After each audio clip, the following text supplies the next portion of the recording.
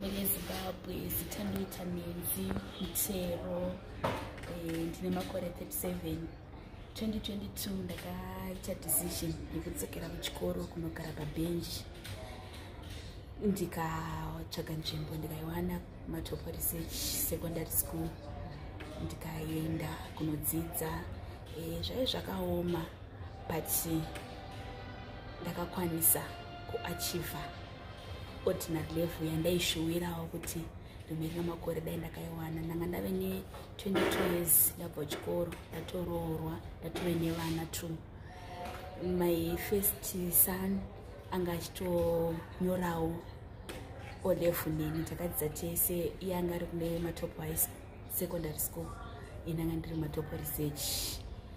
So zvazvakaoma but im glad i made it ndakadzidza masubjects angu mashanu. Chitoendawo monday to friday chitowachawo mauniforms zvese zvamukusengawo mupako zvandoitwa sevana vese. Then ndikabva ndapasa masubject angu ndakangonyora 5 ndikabuda nawo ese akadaro. Combined science heritage studies english agriculture and history. And my favorite subject was history ndotinda zvikuru kuti nemateachers mune basa. Makandiratidza rudo hamuna undijaja vanhu munyika vaijaja vamwe vaitaura zvekutoti ndienzototi aumbogoni aumbopasi but imimi makashingirira mateachers angu kuti ndibude mune something. Ndinotenda nemurume wandakapuwa namwari.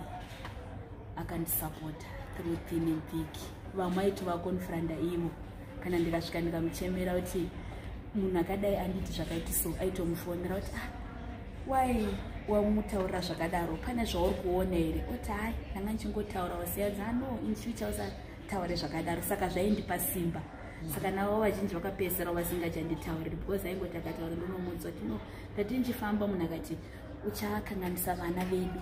Ubva afona pane zvawaona zvakashata zvavari kuita voti hai saka zvakandipa simba kuti ndine sapoti nevana vangu vakandisapota kuti mama zvinoita hapana chinoramba. Nehama dzangu dzaindisapota kuti hapana chinoramba. Nemafriends angu aindisapota kuti hapana chinoramba. So uh, im glad. Im glad i made it. Ndautotarisawo neni kuti da college. Kuma ta diploma na in agriculture.